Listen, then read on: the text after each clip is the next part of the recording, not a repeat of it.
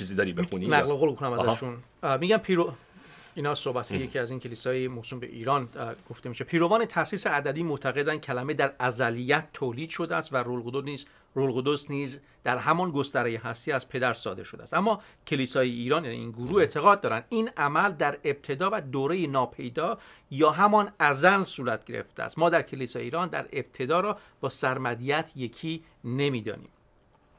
کلیسای ایران معتقد است که کلمه پیش از بنیاد عالم از خدا کلمه پیش از بنیاد عالم از خدا بیرون شد حتی پیش از اینکه اولین اتم اتم دنیا پدید آید کلیسای ایران معتقد است این رخداد مقدم بر پیدایش زمانها و عصرهاست یا به عبارت ساده تر پیش از آفرینش جهان رو آره. این اون نقل قولی که انگار از آقای داوود نجات ثابت برای شما یه تکس فرستاده بود این صحبت رو تو به بله، نظرم بله. از ایشون نقل بله، قول کردی این صحبت که میگم ببین این کلیسا برای خودش کلمات و فضایی رو می‌خواد خلق بکنه که اصلا وجود نداره. یعنی بده من این نقل قول رو بده. این نقل قول رو چند ماه پیش دادم یعنی از آقای داوود اینجا ثابت شما نقل قول کردی که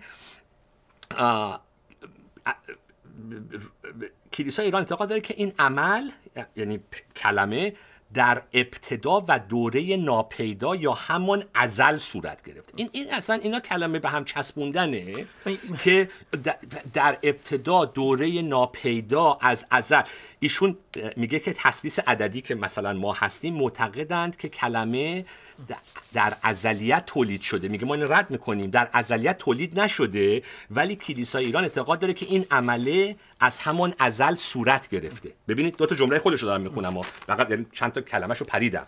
پیروان تاسیس عددی معتقدن کلمه در ازلیت. در ازلیت تولید شده است که اینا میگن این اشتباهه. ولی اینا چی میگن؟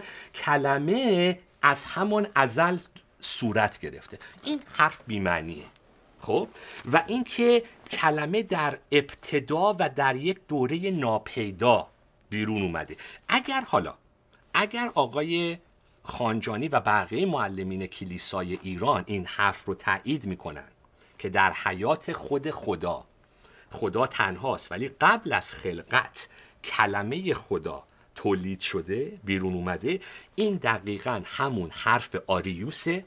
دقیقا بدون برو برگشت و این یک بدعتیه که کلیسا این رو محکوم می‌کنه. حالا کلیسا ایران میگه ما تعلیم آریوس رو نمیپذیریم. بله. ولی صحبت آقای داوود نجات ثابت ثابت صحبت خود آریوس هست. من, من, من یه پرسشی که برای مدت ها ازشون پرسیدم و گفتم که من پاسخ بدید آیا این کلمه یا بود برون شونده خدا آیا از در هستی و حیات خدا وجود داره؟ یعنی این پاسخی است که به ما بله، نمیدن. بله. به نظر میاد پس این بعد برون شونده زمانی اتفاق میفته که شروعی داشته. بله. یعنی در هستی خدا نبوده. پس ما وقتی میگیم که این تعلیم مطابق با بدعت آریوسیس چندان هم دور نرفتیم. آره. ببینید حالا میگم حرف تو حرف میاد بذار حرف تو حرف بیاد مهم نیست. آقای خانجانی دائم توی تعالیمش که البته بنده به دو تاش بیشتر گوش ندادم یکی البته نقد خود بنده بود از دوتاش که گوش دادم. آقای خانجانی دائم گیر میده به کلمه شخص. خب؟ من می‌خوام این رو بگم بارها گفتم اینو. دعوا سر کلمه شخص نیست. یکی از دوستان شما پرسیده بود که از آقای ساسان بپرسید که آیا بود یا حالت این کلمه ها اوکی هست یا اینا رو نباید استفاده کنیم. ببین کلمه شخص من سر کلمه شخص نمی جنگم اصلا و ابدا.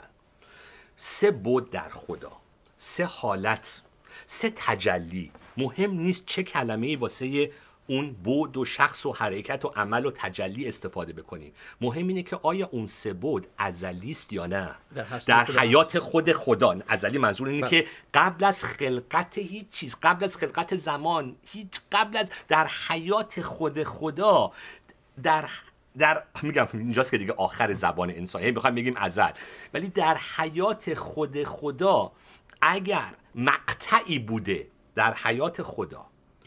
که کلمه نبوده پسر نبوده این صحبت آریوس. حالا ما چرا و اصلا اصلا اصلا اصلا و سلام صحبت آریوس بدعت آریوس. از یه طرف این آقایان میگن ما بدعت آریوس رو قبول نداریم. از یه طرف آقای داوود نجات صاحب صحبتایی می‌کنه که دقیقا حرف آریوسه. بفرمایید. حالا چرا اینقدر گیر میدیم سر مسئله؟ من میگم واژه ازل رو استفاده نکنی یاد همون آریوس افتاده. توی اینا خب می‌گفتن که مسیح مخلوقه. و بعد توی شورای نیقیه گفتن خب این از واژه های کتاب مقدسی استفاده کنیم پسر از خدا. خب آریوسی هم گفتن ما هم قبول داریم پسر از خدا. بعد آخر فهمیدیم که این پسر از خدا اونا توی فکرشون این هستش که مسیح مخلوق پدر به عنوان خالقه. حالا اینا ما میگیم ازل میگم ما هم قبول داریم ولی ازلی که اونا میگن با ازل ما خیلی فرق داره. دقیقاً. اینه که ما در مورد هستی خدا صحبت دقیقاً دقیقاً. ولی بذار ادامه بدیم. ببین پس کتاب مقدس چه چیزایی به ما میگه؟ در ازل کلمه بود. کلمه با خدا بود کلمه خود خدا بود. و از طریق کلمه همه چیز خلق شد. بعد اون کلمه جس پوشید و انسان شد عیسی مسیح. این صحبت یوحنا فصل یک. فیلیپیان پس فصل دو. عیسی مسیح اگرچه او از ازل دارای الوهیت بود ولی راضی نشد که برابری با خدا را به هر قیمتی حفظ کنه از یه طرف مسیح خداست. از یه جنبه دارم میگم. از ذات که اینجا میگیم یعنی یعنی ببین صحبت که فرمولای الهیاتی به خاطر روبرو شدن با این آیات که همچی به همچین نتیجه رسیدیم بله. از خودشون منظره چیز در نیاوردن. همزات با خدا ولی تمایز داره. پس از ازل دارای الوهیت ولی راضی نشد که برابری با خدا را به هر قیمتی حفظ کند بلکه خود را از تمام مزایا محروم نموده به صورت یک غلام درآمد و شبیه انسان شد. چون او به شکل انسان در میان ما ظاهر گشت خود را فروتن ساخت از روی اطاعت حاضر شد مرگ حتی مرگ بر روی صلیب را بپذیرد. پس بعد دوباره اینجا اشاره می‌کنه از این جهت خدا او را بسیار سرفرازده بود. از آیه 9 خدا اون رو سرفراز کرد آیه 6 او از ازل دارای الوهیت بود. این چه واقعیتیه که هم دارای الوهیت هم راضی نشد برابری با خدا را به هر قیمت به چسب بشه آیه دیگه رو می‌خوام بخونم. کلیسیان فصل یک. مسیح صورت و مظهر خدای نادیده است نخست ساده و بالاتر از همه مخلوقات. حالا اینجاست که مثلا شایدان یهو بگیرن ای پس هنوز جز مخلوقاته. نه صحبت صحبت اینه که این ماورای خلقته نه اینکه خودش تو مخلوقات نیست. خودش اون ورخ مرز از مخلوقاته. حالا آیه 16 و 17 زیرا به وسیله او کیه؟ مسیح. زیرا به وسیله او هر آنچه در آسمان و زمین است دیدنی ها و نادیدنی ها پادشاهان و حکمرانان و اولیای امور آفریده شدن. آری تمام موجودات به وسیله او و برای او آفریده شدن. به وسیله کی؟ برای مسیح. به وسیله اون. او قبل از همه چیز وجود داشت و همه چیز به وسیله او با هم ارتباط پیدا می‌کند. آقای خانجانی اگه میگه نه منظور پدری که از قبل از اون وجود داشت چرا نمیگه پدر؟ یعنی دائم کلمات کتاب مقدس اگر اگر صحبت های آقای خانجانی درسته چرا این همه ما اشاره به پدر پسر و روح القدس داریم؟ این همه صحبت ارتباط و تمایز بین پدر پسر روح القدس داریم. ببینید پس این مسیح قبل یعنی حیات عیسی مسیح در رحم مریم شروع نمیشه. او آفریننده از خودش در همه چیز. این کلیسیان. حالا خود عیسی مسیح یوحنا فصل 16 آیه 28 من از نزد پدر آمدم و به جهان وارد شدم و اکنون جهان رو ترک می کنم و به سوی پدر می روم کدوم پیغمبر؟ یعنی اصلا یعنی بابا قبل از اینکه روی حیات زمینی شروع بشه میگه من خودم از بالا اومدم و دوباره برمیگردم به بالا. یوحنا بذار. اینجا. یوحنا.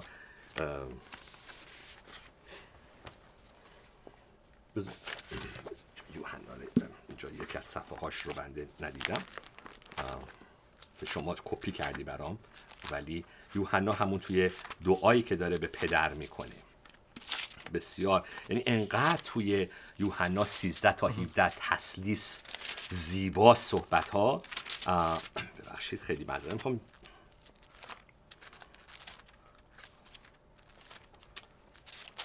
یوحنا 17 توی صحبتش مسیح میگه که عیسی به سوی آسمان نگاه کرد گفت 17 یک ای پدر آن ساعت رسیده است. پسر خود را جلال ده تا پسرت نیست تو را جلال دهد. بعد میگه که آیه 4 من فصل 17 من تو را در روی زمین جلال دادم. کاری را که به من سپرده شده بود تمام کردم و اکنون ای پدر مرا در پیشگاه خود جلال بده. همان جلالی که پیش از آفرینش جهان در نزد تو داشتم. پس شروع مسیح در رحم مریم نیست. این دوباره یک آیه که خود مسیح میگه. رومیان هشت. نه تنها شروع مسیح پیش از زمان آفرینش نیست بلکه, بلکه پیش از آفرینش هم در یک مقطعی نیست که این عزیزان میگن. در هستی خدا مسیح. دقیقا. اگر همین همین میگم. اگر بگیم در یک مقطعی حتی خارج از آفرینش. حتی قبل از حتی قبل از آفرینش. دقیقا. بله. اون, اون میشه دوباره مخلوق. بله. اون میشه مخلوق. آیه رومیان 8 آیه 3 آنچه را که شریعت رومیان 8 3 به علت ضعف طبیعت نفسانی نتوانست انجام دهد خدا انجام داد. او فرزند خود را به صورت انسان جسمانی و گناهکار برای آمرزش گناهان بشر فرستاد و به این وسیله گناهان را در ذات انسانی محکوم ساخت. خدا فرزندش رو فرستاد. حالا صد تا آیه ما داریم کتاب مقدس. همش خدا انقدر جهانیان رو دوست داشت. یوحنا سهشون که تنها پسرش را داد. یعنی بابا همش صحبت اینه که از بالا اومده فرستاده شده در نزد خدا بوده پدر اون رو فرستاده. اینا همه صحبت هاییه که ببین یه کتابی رو حالا بعدا توی یه قسمت دیگه معرفی می‌کنم. الهیات مسیحی رو می‌تونیم اینطوری تشبیه کنیم. چون حالا صحبت های من و تو و آقای خانجانی و خیلی در بحث تسلیس و خیلی های دیگه ما هنوز خیلی تو صحبت های فلسفه و متافیزیکی ارسطو هستیم. ذات و شخص و این حرفا. امروز خیلی ها میگن آقا اصلا بحث های متافیزیکی تو دنیای 20 قرن 21 خیلی همچین معنیدار و ملموسدار نیست. مکتبی هست حالا بعدا شاید توضیح بدم. از دانشگاه ییل خیلی شروع شد گفت اصلا بیایم به الهیات. میشه مثل یک زبان گرامر زبان نگاه کرد که وقتی گرامر یک زبان داره قواعد صحبت کردن درست یک زبان رو به تو یاد میده. آموزه های الهیاتی از جمله تسلیس داره به تو یاد میده که گرامر صحبت کردن درباره خدا چیه. پدر از مریم به دنیا نمیاد. پدر روی صلیب مصلوب نمیشه. اصلا الان اصلا ذات و شخص و این بساط رو بذاریم کنار. دست مثل اینکه آقا اگر می‌خوای درباره خدا صحیح حرف بزنی اینطوری باید حرف بزنی. پدر پسر رو میفرسته.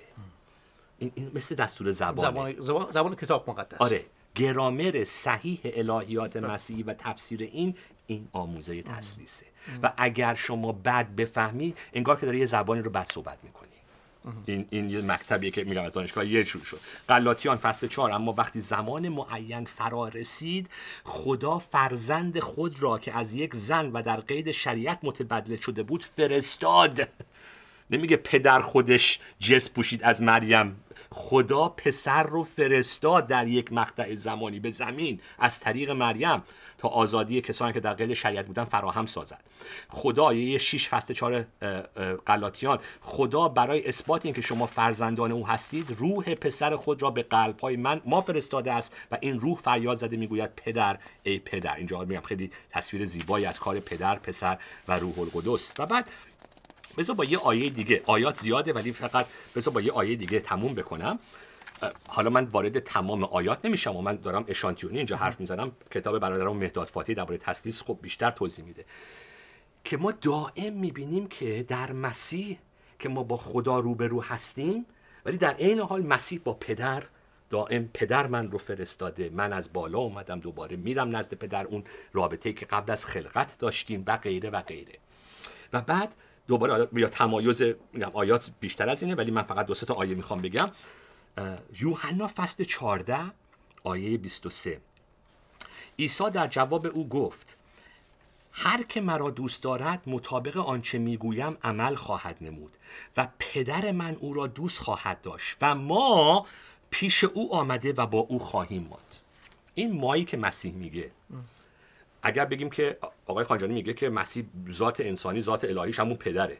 این مایی که مسیح میگه آیا ذات انسانی مسیح میاد پیش بنده؟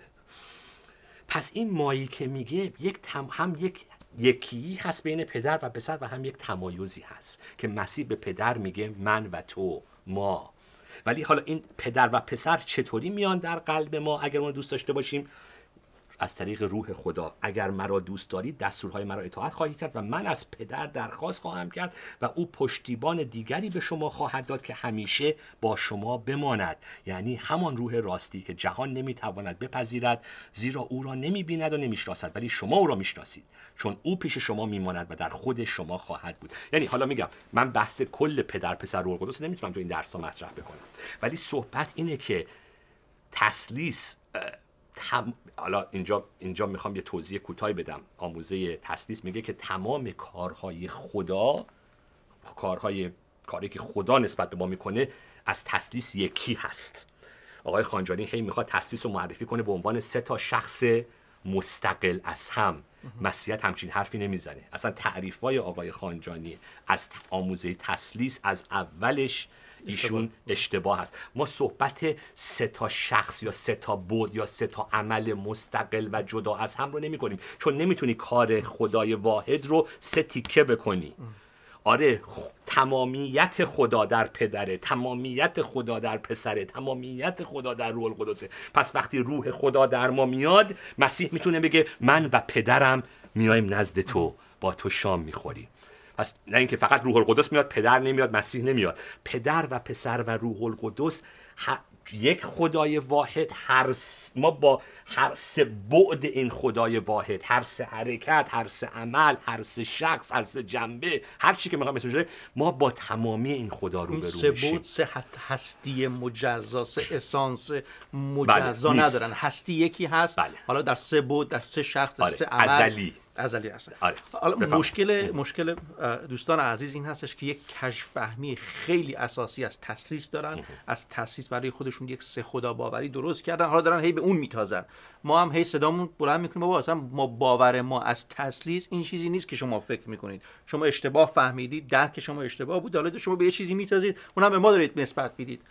من من اگه بخوایم نتیجه گیری بکنیم یا اگر بخوایم یک بار دیگه تعریف اشتباهی این گروه رو خاطر نشان بشیم و بگیم که ما به این معتقد نیستیم و این اساسا تعریف اشتباهی هست. این گروه میگن که پسر تعریف این گروه از پسر در واقع اینه که پدر انسان شد. این انسان شدن و اتحاد بود انسانی و الهی میشه پسر ما اون رو عیسی یا پسر می‌خونیم و بعد کلمه بعد برون شونده خداست که از ازل البته این ازل هم نه به اون ازل معنایی که ما می‌فهمیم بلکه یک زمانی که شروع شده قبل از آفرینش بعد برون شونده خداست کلام. که ما باز اعتراضمون بر این بود که اگر چنین باوری رو دارید شما دارید مرتکب بدعت آریانیزم میشید و هیچ تفاوتی شاید نداشته باشه با اون چیزی که اونا مطرح کردن. ما هم صحبتمون هستش که توجه شما سر این مسئله بود که حالا سر واژه شخص گیر ندیم. صحبت سر اینه که حالا هر چیزی که می‌خوایم این رو اسمش رو بگذاریم. بود حرکت تجلی, تجلی. همه اینها از هم متمایزن. یک هستی واحد رو دارن و در هستی خدا همیشه بودن. بذار یه, یه پرانتز بذار باز کنم. من یک از معلمام در مدرسه الهیات آرسیس رو همیشه یه حرف قشنگی می‌زد. میگفتش که فرق تمایز و جدا کردن. می‌گفت شما اگر روحت رو از جسمت تمایز بدی هیچ ضربه به خودت نزدی. اگر روحت رو از جسمت جدا کنی تو رو کشتی. خودت کشتی. بله. خب. ببین من و تو هر کدوم یک انسانی یک انسانی دو تا انسان که نیستیم. ما شاید حالا دو تا خواستن خود شاید یکی اسکیزوفرنی شاید چند شخص ما اسکیزوفرنی اگر نداشته باشیم یک هویت داریم یک شخص هستیم یک نفر هستیم یک فرد اما یکیه. ولی خیلی راحت می‌تونیم درک کنیم که یک بود جسمانی داریم یک بود غیر جسمانی یا روحانی. ولی این دوتا نیست که مثلا بگیم از هم جدا نمیشه کرد جدا موقع مرگ. ولی من اینطوری نیست که بگم پس این خودش یک مثال وحدت در کسرت. یکی هستیم هر کدوممون. ولی یک تمایز می‌تونیم قائل بشیم بین بود روحانی و بود جسمانی. از هم, هم جدا شدنی نیست.